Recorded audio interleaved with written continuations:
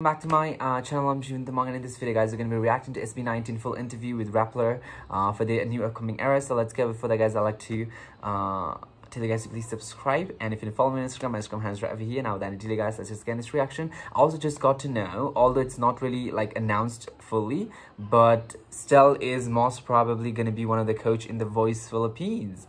And that's like, ooh, amazing. Oh. Wait, wait, wait, wait. They're not under that SB Entertainment or wait, what was their uh label name? I forgot. So it's just SB19 only. Ah, nakakatuwa po kasi parang siyempre bukod po sa kalayaan sa freedom, ang, ang.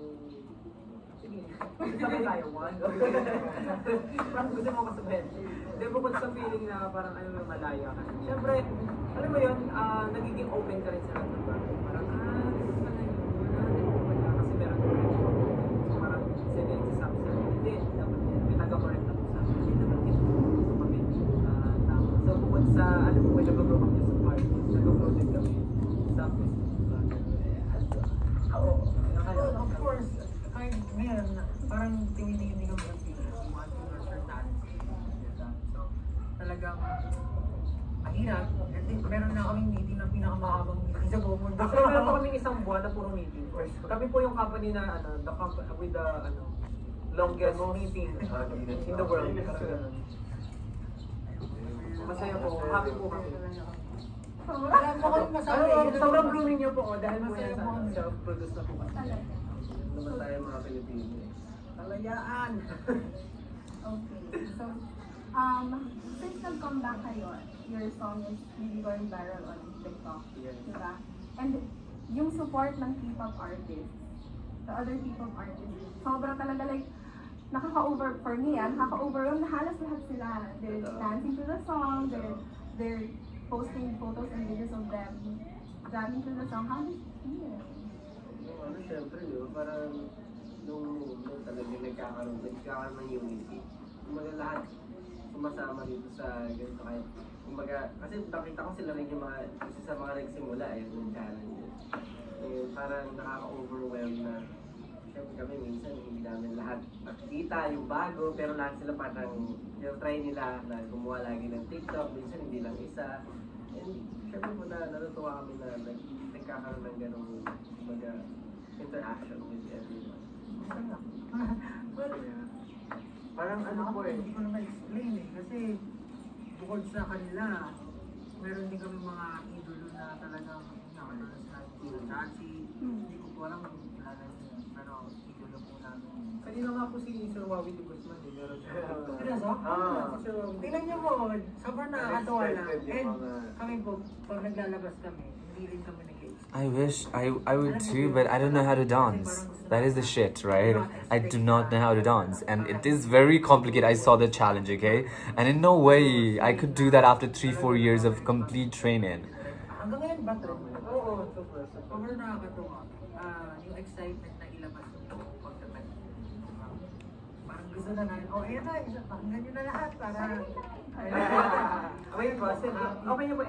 Eh, no, I was like, bro, uh, uh, uh, uh.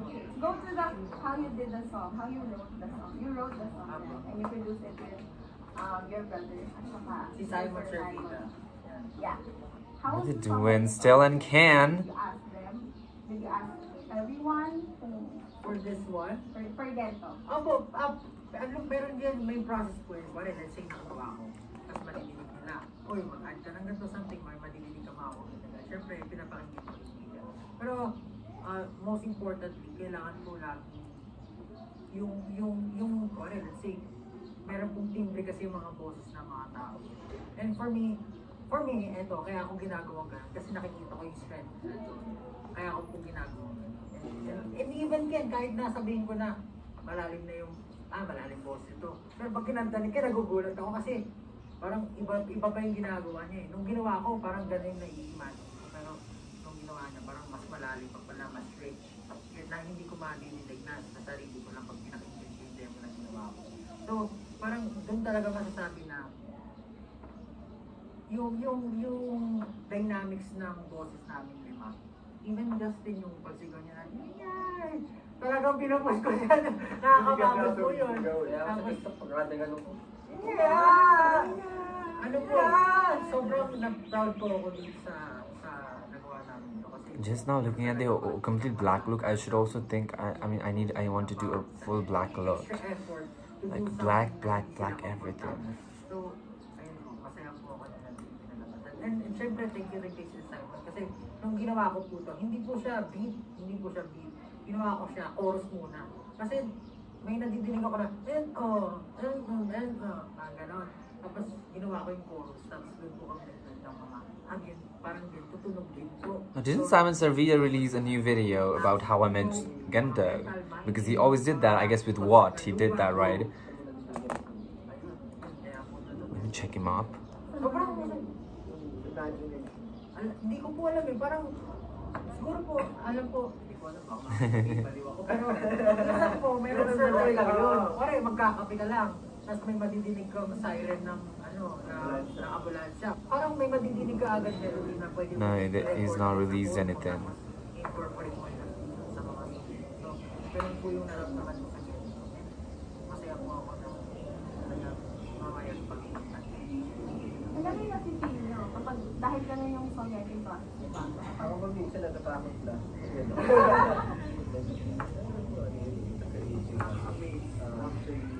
Kasi parang iniisip ko po, parang kung isipin niyo po, yung I don't think songwriting is easy at all. Ano, And that too, a very good one. Pero pag you look deeper po na, imagine lima po kami, isipin mo yung timbre ng bawat isa, yung pagkakasunod-sunod. Kasi siya rin po yung nagbibigay ng parts namin sa kanta.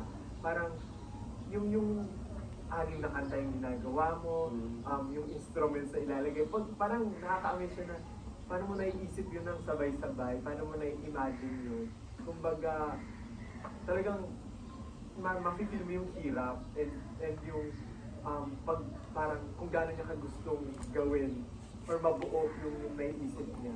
So ayun po, talagang nakaka-amaze and nakaka-inspire din na parang gusto kong gumawa ng something like that. Kaya hindi Po parang bob, doble ano po. Parang iba talaga. Ibang tagin mo. Ang gusto ko lang share kasi syempre pag gumagawa ka ng kanta, lima yung kagrupo mo eh. Ay, apat lang talaga. Ang lima ka. Parang ano eh, yun nga po na nakwento ko na parang nung pinapakain yung sa sarili ko, ang bland talaga. Ang naiirita na rin ako sa boses ko. Always, that's why I never watch my own reaction videos because, goddamn, what's that voice? I feel like.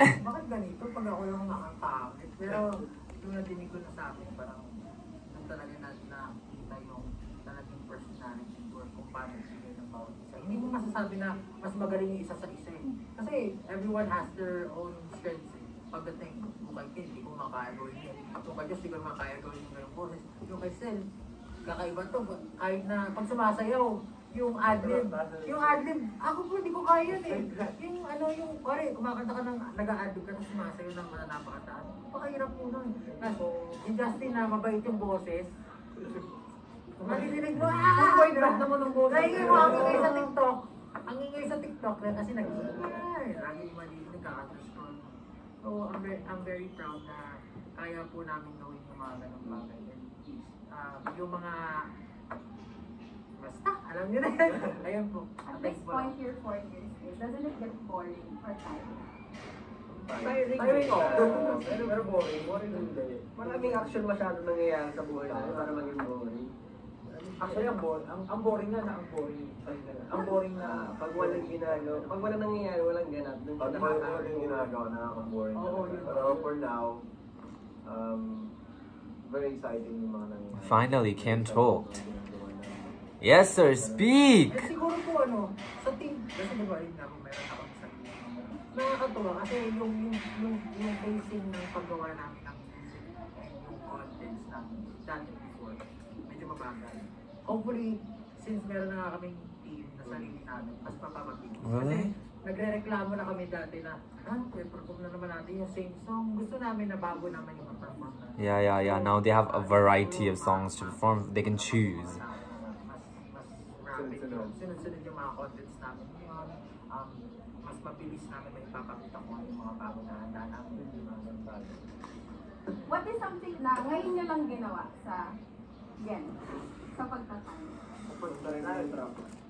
Drive a truck? Yung isang truck. Kahit sa promotions? Wait. Sa pagtatag, ito po. Nag-green na tayo dati, hindi pa no? Green na lang dati po yan. Green na marketing. Even yung concept yung genre R&B. I want you! I want you! That's coming this Friday. Nakakabot na hindi mo alam kung saan. Kasi yung mga previous namin, parang lagi kami, ano eh, parang nagira kami lagi. Yung, yung R&B kasi na sinasabi mo, mature kasi yung hugot nun talaga. Mature eh.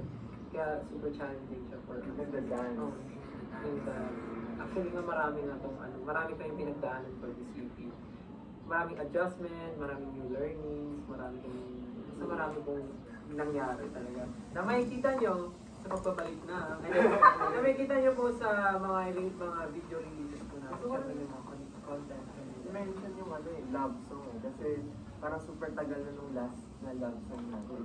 Ako wala True. Actually, love song po namin, Broken Yeah, exactly. You don't really have a love love song. Point. yung love songs namin ngayon, yung mga hidden gems namin.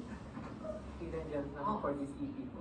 Which could it be? I Want You is a love song? I don't think so. Liham could be. Pero kasi po ako. But they seemed emotional. dami kasing love song sa Filipino industry. Yung Sa, whole, sa ibang mundo marami love.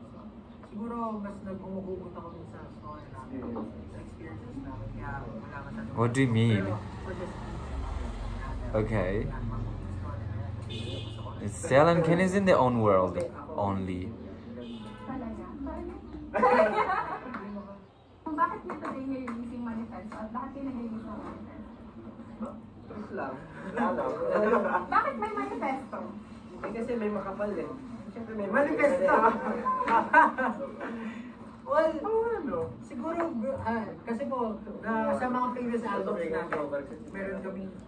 meron kaming mga ah, notes doon, kumbaga, na parang ah, si Justin.